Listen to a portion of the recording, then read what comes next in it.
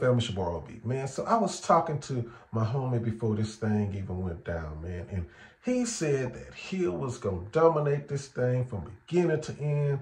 It was going to be nothing but Hill, Hill, Hill. But I'm here to tell you, man, you don't never know what's going to happen, man, when uh, you get in that square circle, man. That boy, Alex, look, man, a lot of people have a lot of stuff to say about Alex, man. But that dude don't play, man if you paid any attention to this thing, it was like it was a cakewalk Alex, man. Went in there, dominated, and, and, left it all in the square circle, man. And like I say, man, I'm a I'm a Hill fan, man, but we was talking about this thing, like I say, man, before it even went down, man, and he just counted that boy Alex out, man. I tell you, man, you never know what's gonna happen, man, when when it's it's, it's match time, man. People have something in their heart, man. That boy Alex got a lot of heart. He showed it. He dominated. He was the better man, and you can't take that away from him, man. So shout out to him for that. Shout out to, to Hill for that. I know he to be back, man, but that boy Alex